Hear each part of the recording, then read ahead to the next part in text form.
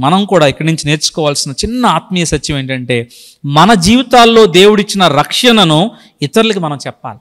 That's where Christianity matters ఏంటి డెబ్బై ఐదు సంవత్సరాలు అయిపోయింది భారతదేశానికి స్వాతంత్రం వచ్చి ఇంకా మూడు శాతం నాలుగు శాతమే అంటే నేను అనుకుంటాను ఎవరో కాదు ఆ గవర్నమెంట్ వచ్చింది ఈ గవర్నమెంట్ ఇవన్నీ మనం చెప్పే కథలు ఎక్స్క్యూజెస్ మెయిన్ ప్రాబ్లం ఏంటంటే మనమే.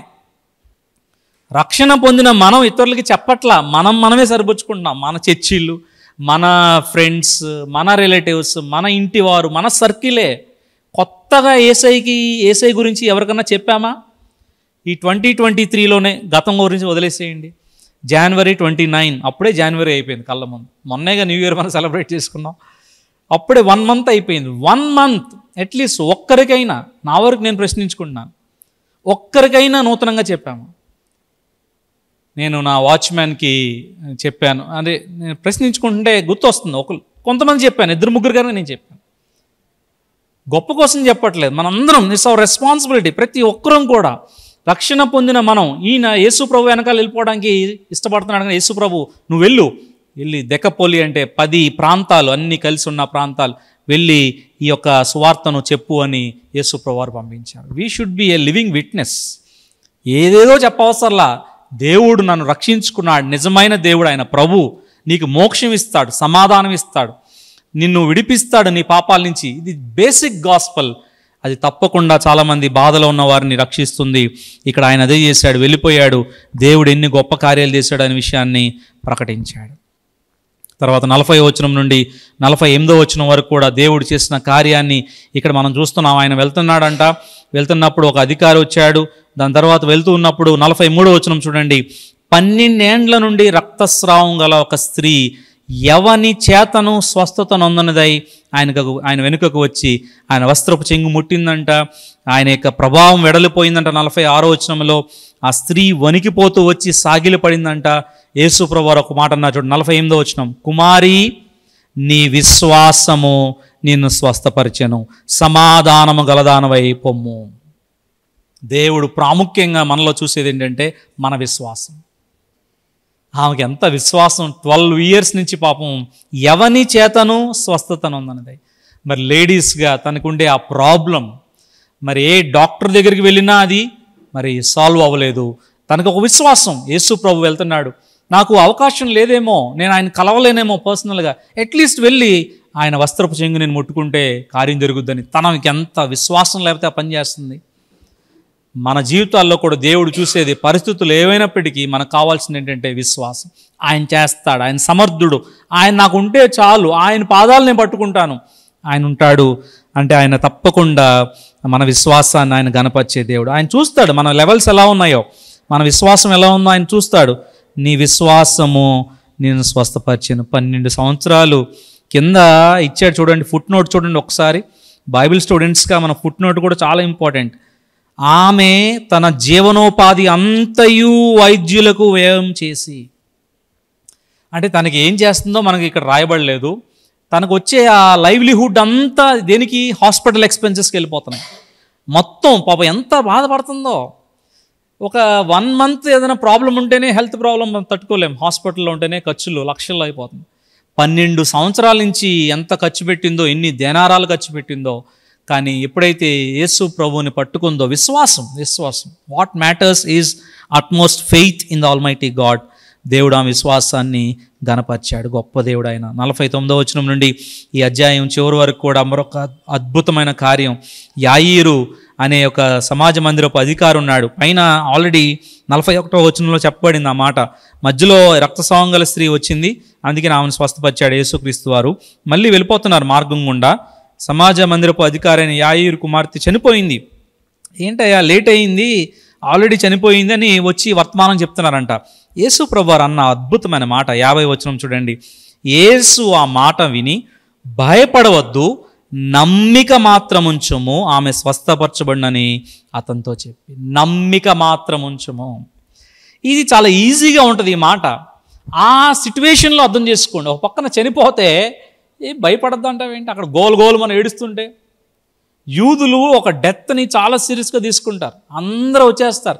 అఫ్కోర్స్ ఈ రోజుల్లో కూడా జరుగుతుంది. గ్రామాల్లో చూస్తాం. జనం అంతా ఊరంతా కదిలి వచ్చేస్తారు ఎవరైనా చనిపోతే. అట్లా ఆ రోజుల్లో యూదులు చాలా విలపించేవారు అన్నమాట కొన్ని దినాలు విలపించేవాళ్ళు. మనమైతే ఒక రోజులో బాడీ తీసుకెళ్ళిపోవాలని మనం అలా చూస్తాం కానీ కొన్ని రోజులు సైతం వాళ్ళు విలపించేవాళ్ళు. ఒకవేళ బరియలు అయిపోయిన తర్వాత కూడా కొన్ని సంతాప దినాలుగా వాళ్ళు విలపించేవాళ్ళు. అలా బాగా డౌన్ అయిపోయి ఉంది గ్రామం అంతా. ఆ అధికారి మెసేజ్ అందిందంట చనిపోయిందని. ఈయనేమంటున్నాడు ఏమంటున్నాడంటే భయపడవద్దు నమ్మిక మాత్రము ఉంచు.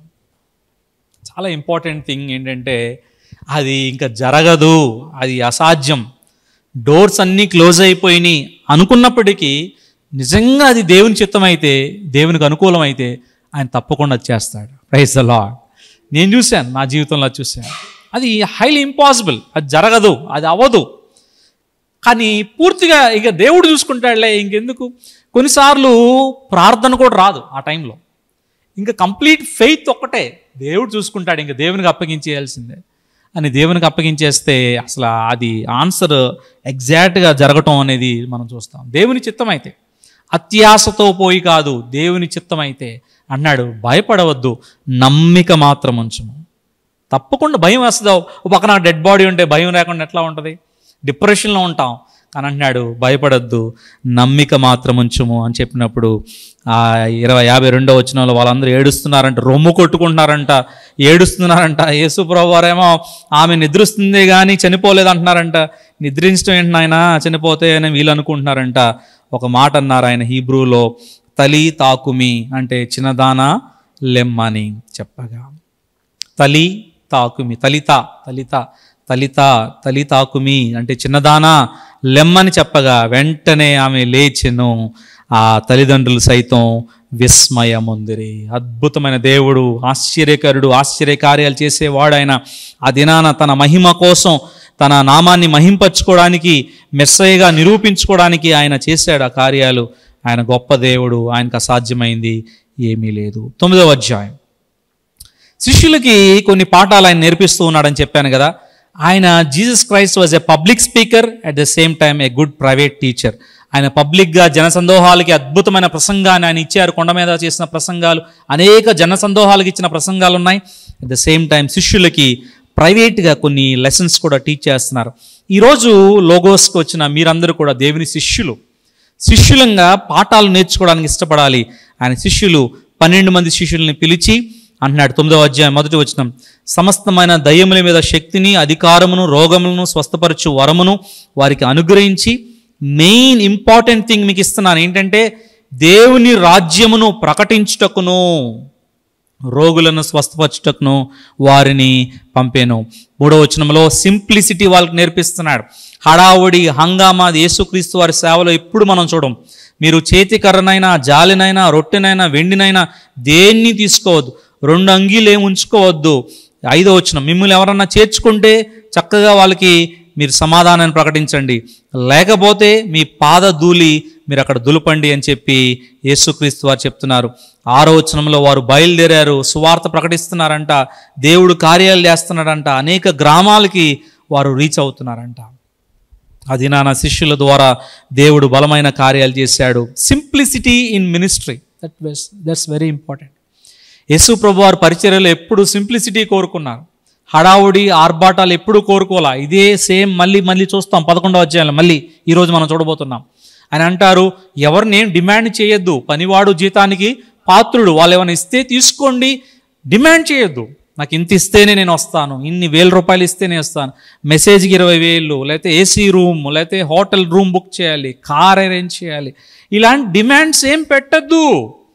వాళ్ళు ఇస్తే మీరు తీసుకోండి అంతేగాని నమ్మకమైన సేవ చేయండి సువార్త ప్రకటించండి అని శిష్యులకు చక్క చక్కగా చెప్పారు. ఏడో వచనం నుండి ఆ హేరోదు ఆశ్చర్యపోతున్నాడంట ఎవరండి ఈయన? యేసు ప్రభు ఎవరో? ఈ శిష్యులు ఎవరు? యోహాన్ని నేను ఆల్రెడీ తలగొట్టిచ్చా కదా చనిపోయాడు కదా బాప్తిస్మ ఇచ్చి యోహాన్ లేడు కదా ఏంటి ఈయనెవరు అని ఆశ్చర్యపోతున్నారంట. పదో వచనం నుండి తిరిగి రిపోర్ట్ రిపోర్ట్ శిష్యులు వచ్చేసారు వెళ్ళిపోయారు వచ్చేసి రిపోర్ట్ ఇస్తున్నారు యేసు ప్రభు వారికి. అపోస్తలు తిరిగి వచ్చి తాము చేసినవన్నీ ఆయనకు తెలియజేయగా ఆయన వారిని వెంటబెట్టుకొని బెత్సైదాను ఊరిని ఊరికి ఏకాంతముగా వెళ్ళాను. ఇది కొంచెం ఆలోచించాల్సిన విషయం ఏంటంటే యేసు ప్రభు వారు శిష్యులతో ప్రైవేట్గా గడపడానికి చాలా ఇష్టపడ్డారు. కొన్నిసార్లు we need a discipleship meeting పెద్ద పెద్ద హంగామా ఆరావడి ఆర్భాటాలు కొన్నిసార్లు కావాలి సందడి కొంతవరకు కావాలి కాదంటలేదు. కానీ ఎక్కువగా రిట్రీట్ అంటారు. రిట్రీట్ అనే మీనింగ్ ఏంటంటే అన్నిటికీ దూరంగా వెళ్ళిపోయి కొంతసేపు దేవునితో గడపటం. ఏ స్పిరిచువల్ రిఫ్రెషింగ్ టైం చాలా ఇంపార్టెంట్ యేసు ప్రభువారి జీవితంలో కూడా శిష్యులతో చెప్తున్నారు. Busy busy busy busy busy life ఎప్పుడు జనాలు స్వస్థతలు అద్భుతాలు ఆశ్చర్యాలు అప్పుడు ఆయన చుట్టూ జనం ఉండేవాళ్ళు. ఆయన కొన్నిసార్లు ప్రైవేట్ టైం కూడా కోరుకున్నాడు. ఆయన శిష్యుల్ని పక్కకు తీసుకెళ్ళిపోయాడు. ఏకాంతంగా అక్కడ గడిపాడంట. ఇది రిపీటెడ్గా కూడా మనం తర్వాత తర్వాత మనం చూడబోతున్నాం. స్పిరిచువల్ లైఫ్లో బిజీ బిజీ బిజీ బిజీ అది ఈ అధ్యాయంలో మనం చూడబోతున్నాం. తర్వాత తర్వాత అధ్యాయాల్లో మనం చూడబోతున్నాం. కొన్నిసార్లు దేవునితో మనం గడిపే సమయం కూడా కావాలి. అవసరమైతే లీవ్ పెట్టాలి. ఒకరోజు లీవ్ పెట్టాలి. లీవ్ పెట్టి దేవునితో గడపాలి. ఏ పెద్ద సాగులు చెప్తూ ఉంటాం. నా బిజీ ఏంటి? అసలు నాకు టైం ఉండదు ప్రార్థన చేసుకోవడానికి. వాక్యం చదవడానికి టైం ఉండదు. ప్లీజ్ అర్థం చేసుకోండి అంటారు. అసలు ఆయన సృష్టికర్త రక్షించాడు నిన్ను ప్రేమించాడు ఉద్యోగం ఇచ్చినాడు ఆయన ఆయన్ని మంచి మర్చిపోతున్నాం మనం. అవసరమైతే ఒక రోజు లీవ్ పెట్టచ్చు. అవసరమైతే అన్నీ పక్కన పెట్టచ్చు. హై ఎమర్జెన్సీ ప్రకటించి దేవునితో స్పెండ్ చేయండి. అది చాలా ఇంపార్టెంట్. శిష్యులు కూడా అది నేర్పిస్తున్నాడు ఆయన. వాళ్ళకు కొన్ని పాఠాలు నేర్పిస్తున్నాడు. ఇంకా వాళ్ళు కలవరపాట్లో ఉన్నారు. పన్నెండు వచ్చిన చూడండి. పొద్దు గుంకిందంట ఆ పన్నెండు మంది శిష్యులు వచ్చారంట. మనం ఈ అరణ్యంలో ఉన్నాము. చాలామంది జనం ఉన్నారు ఇక్కడ. వీళ్ళందరూ మరి ఇక్కడే ఉన్నారు. వీళ్ళకి ఇప్పటి వరకు బోధ బోధించావు నువ్వు. వీళ్ళందరికీ ఆహారం ఏది? యేసుప్రభు ఆర్డర్ ఒక ఆర్డర్ జారీ చేశారంట. పదమూడు వచ్చినంలో ఆయన మీరే వారికి భోజనం పెట్టండి. ప్రవ్వా మా దగ్గర భోజనం ఏమి లేదు నాయన. సడన్ ఆర్డర్ జారీ చేసావు ప్రవ్వా నువ్వు. ఆ చిన్న పిల్లవాడి దగ్గర ఐదు రొట్టెలు రెండు చేపలు ఉండటం మనం గమనించాలి. అక్కడ ఎంతమంది వచ్చారు? ఐదు రొట్టెలు రెండు చేపలు అంటే ఎంతమందికి ఇవ్వచ్చు? ఏడుగురికి ఇవ్వచ్చు. ఇక్కడ ఎంతమంది ఉన్నారు? పది పద్నాలుగు వచ్చినాం ఇంచుమించు అంటున్నాడు. ఇంచుమించు ఐదు వేల మంది పురుషులు. పురుషులు అంతమంది ఉన్నారంటే స్త్రీలు పిల్లలు అందరు కలిసి ఈజీగా డబల్ వేసుకోవచ్చు. లేకపోతే అట్లీస్ట్ సెవెన్ థౌజండ్. ఏడు ఉంటే ఇక్కడ ఐదు రొట్టెలు రెండు చేపలు ఏడు ఉంటే అక్కడ ఎంతమంది ఉన్నారు? ఏడు వేల మంది ఉన్నారు. అసలు అసాధ్యం. దేవుడేమో ఆజ్ఞాపించేశాడు. ఆయన పెట్టండి అంటున్నాడు. శిష్యులకి కొన్ని ఫెయిత్ లెసన్స్ నేర్పిస్తున్నాడు ఆయన. ప్రాక్టికల్ లెసన్స్ కొన్నిసార్లు దేవుడు మన లైఫ్స్లో కొన్ని సిచ్యువేషన్స్ అలౌ చేస్తాడు కలవరపడకూడదు మనకు నేర్పించడానికి ఏంటి ప్రభా ఇది ఏంటి ఎట్లా సాధ్యం? టైం లేదు ఇంత అమౌంట్ కట్టాలి నేను. లేతే పిల్లల విషయంలో ఇలా ఉంది ఎట్లా డెసిషన్ మేకింగ్ ఎట్లా ఇంత ఇంత షార్ట్ టైంలో ఎట్లా? దేవుడు మనకి విశ్వాసం నేర్పిస్తాడు ఇలాంటి టైంలో కూడా ఆయన పాదాలు పట్టుకుంటేనే అవుద్ది ఇంకా. ఆయనే చేయగలడు. మనం మామూలుగా మాట వినం కదా కొన్ని సిచ్యువేషన్స్ ద్వారా దేవుడు ఒక గట్టిగా ఒక మనల్ని హోల్డ్ చేసైనా ఆయన దగ్గరికి తెచ్చి తీసుకొస్తాడు. ఫెయిత్ లెసన్స్ చాలాసార్లు మామూలప్పుడు ఫెయిత్ ఎక్కడ ఉంటుంది అన్నీ ఉన్నప్పుడు ఫెయిత్ ఎందుకండి? ఇంకా ఫర్ ఎగ్జాంపుల్ ఇక్కడ నాకు ఈ సంవత్సరం అంతా కట్టడానికి నాకు రెంట్ ఉన్న రెంట్ డబ్బులు ఉన్నాయనుకోండి స్కై హోటల్కి నాకు ఫెయిత్ ఉంటుందా నాలాంటివాడికి అమ్మయ్య డిసెంబర్ వరకు నాకు రెంట్కి డోకా లేదు. నాకు ప్రార్థన వస్తుందా అసలు? దేవునిపై నేను ఆధారపడతానా? ఎందుకు నాకు చెక్ రాసి ఇచ్చేస్తాను? నాకు ప్రతి క్షణం ఫెయిత్ ఫెయిత్ ఫెయిత్ మ్యాటర్స్ ఎందుకంటే నాకు వచ్చే వారం సంగతి let next week next month advance ఏంటి ఏది? దేవుడు దేవుడు.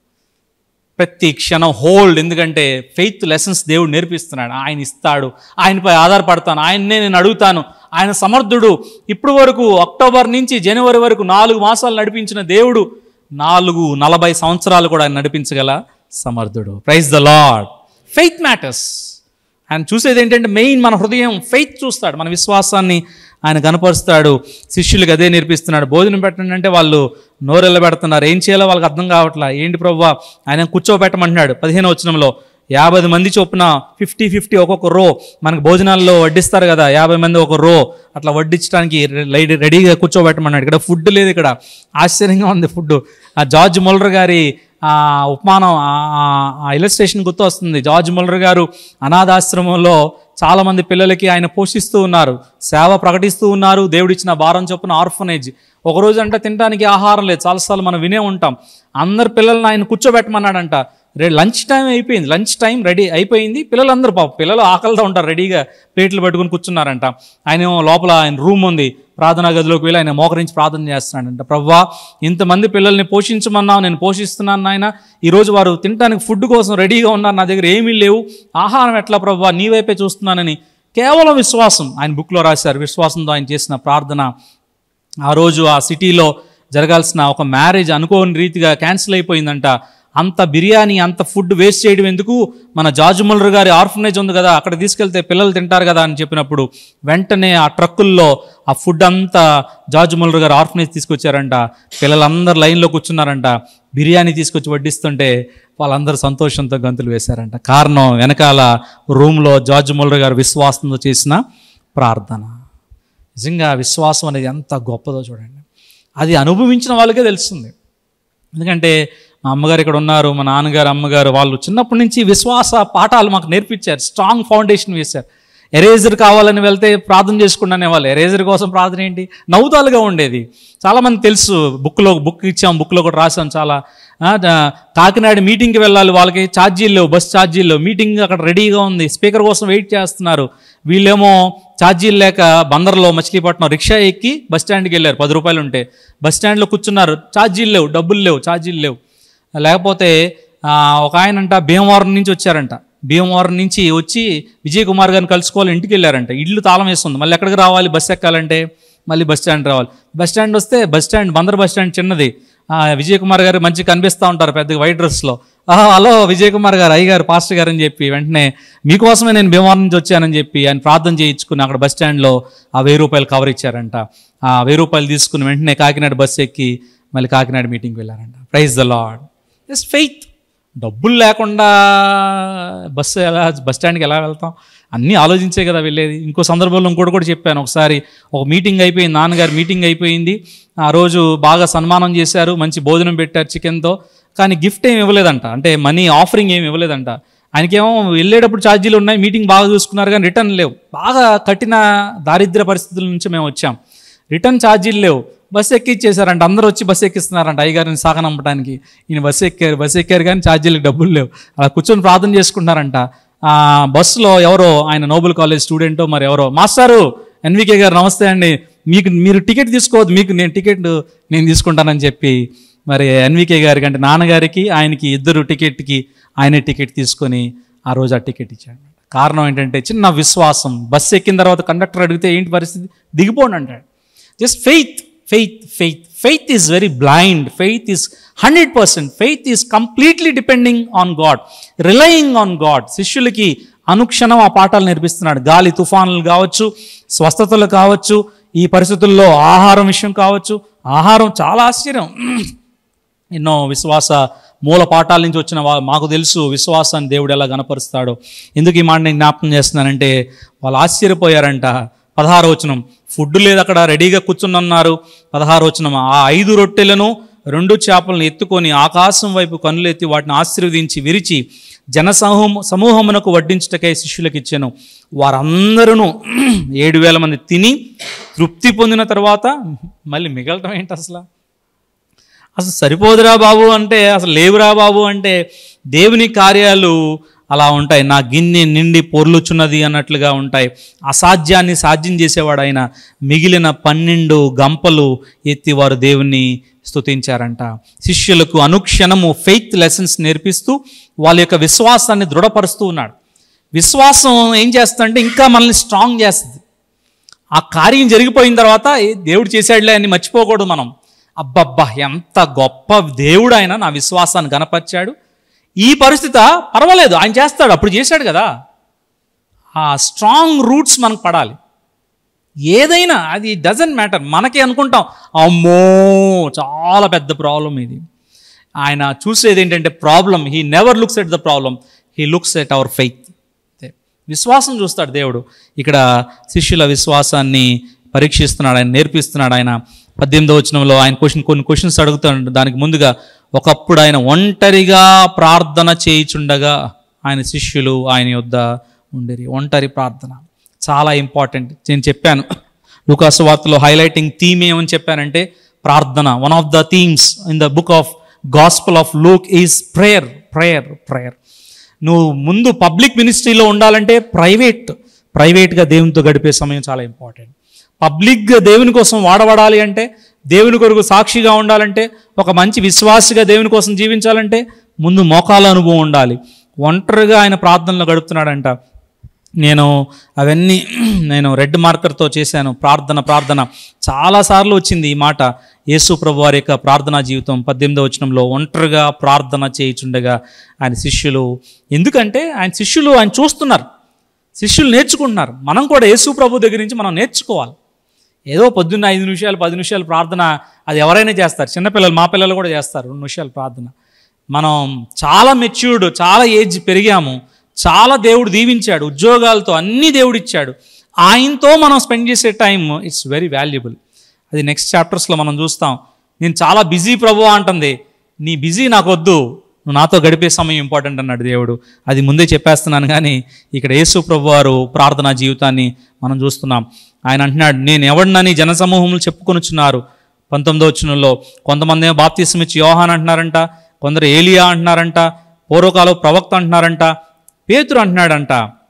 అందుకు ఆయన మీరైతే నేను ఎవడనని చెప్పుకుంటున్నారని వారు అడుగగా పేతురు వెంటనే Peturu Peter confessed that Jesus Christ is the son of God Peturu ద్వారా దేవుడు ఇక్కడ మనం నిరూపించడం చూస్తున్నాం నీవు దేవుని క్రీస్తు అనేను అప్పుడు వరకు మెస్సయ్య కోసం ఇంకా వెయిట్ చేస్తున్నారు. మెస్సయ్య వస్తాడు మెస్సయ్య వస్తాడు మెస్సయ్య వస్తాడు. పీటర్ చక్కగా తెలుసుకున్నాడు ఆత్మ వివేచన జ్ఞానంతో తెలుసుకున్నాడు అనుకుంటా అంటున్నాడు నీవు దేవుని క్రీస్తువి. ఇరవై మూడో వచనం చూడండి. యేసుక్రీస్తు వారు ఆయనతో అందరితో శిష్యులతో అంటున్నారు. శిష్యులు శిష్యులు అంటే మనమే.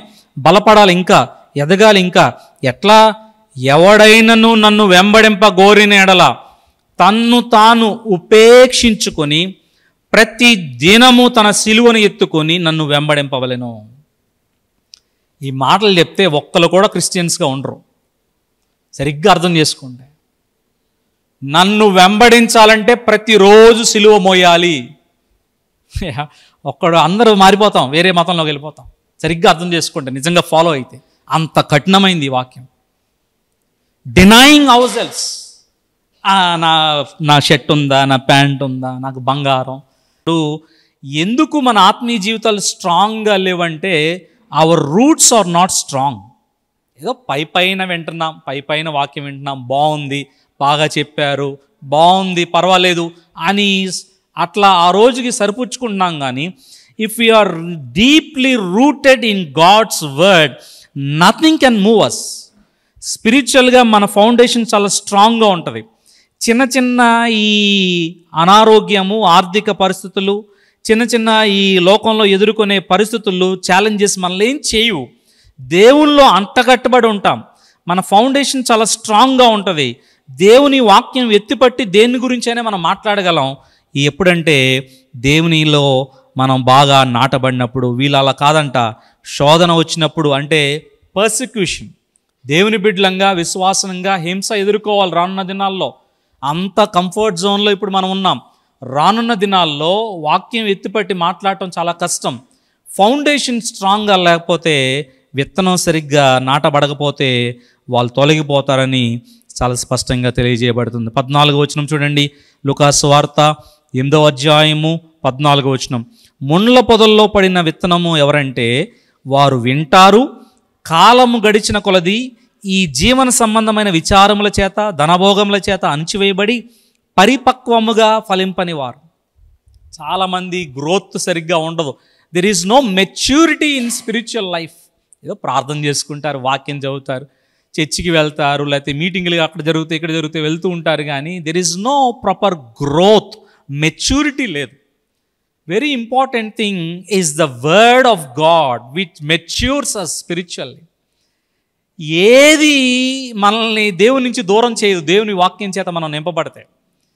దేవుని వాక్యం చేత మనం పూర్తిగా మన జీవితాలని నింపుకుంటే ఆయన కోసమే మనం జీవిస్తాం. మన టార్గెట్ ఆయనే. ఆయన్ని గురిగా పెట్టుకుంటాం. ఆయనలో ఎదగాలని ఆశ ఉంటుంది. దేవుని వాక్యంలో బలపడాలి అనే ఆశ ఉంటుంది.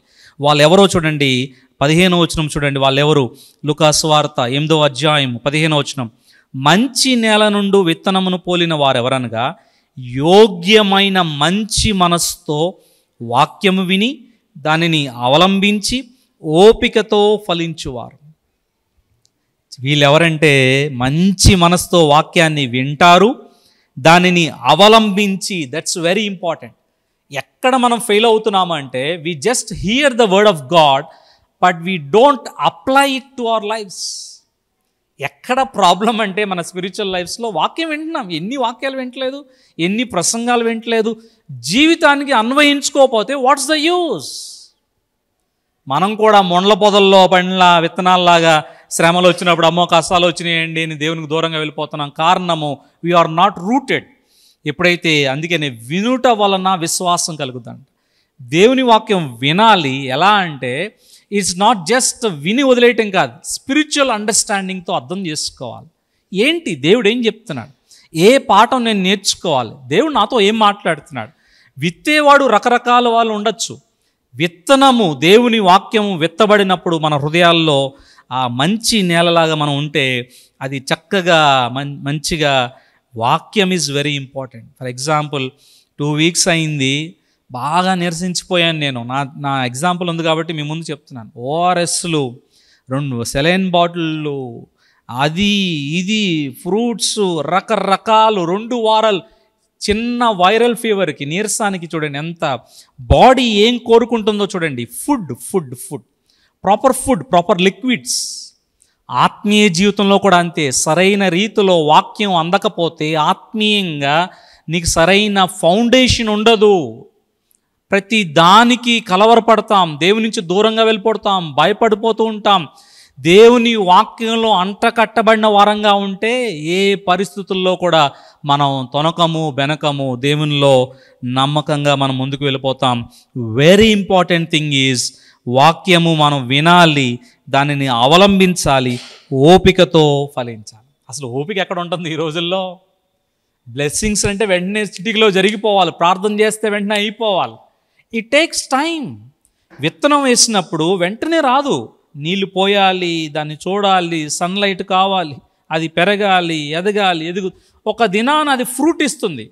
We should wait for it ఆత్మీయ జీవితంలో కూడా వెంటనే మనం mature Christians అయిపోం. It takes time it takes time main we should be filled with the word of God ప్రవ్వా నీ వాక్యం ద్వారా నాతో మాట్లాడు. నీ వాక్యం ద్వారా నన్ను బలపరచు. నన్ను స్థిరపరచు.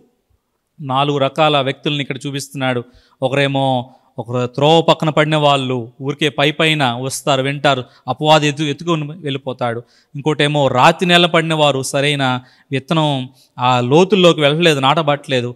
ఇంకోటేమో మొండ్ల పొదలు పడిన వారు విత్తనాలు ఇంకోటేమో మంచి నేలను పడినవారు మనం గమనించాల్సిన విషయం ఏంటంటే దేవుని వాక్యాన్ని. ఇక్కడ శిష్యులకు ఒక క్లోజ్డ్ సర్కిల్ పెద్ద పెద్ద ప్రసంగాలు యేసుక్రీస్తు వారు ఇవ్వట్లా. క్లోజ్ సర్కిల్ అని శిష్యులతో మాట్లాడుతున్నాడు. శిష్యులారా మీరు దేవుని వాక్యం చేత నింపబడండి. రానున్న దినాల్లో మీరు చాలా ఎదుర్కోబోతున్నారు. మీరు స్ట్రాంగ్గా ఉండాలంటే దేవుని వాక్యం చేత మీరు నింపబడ్డాలి.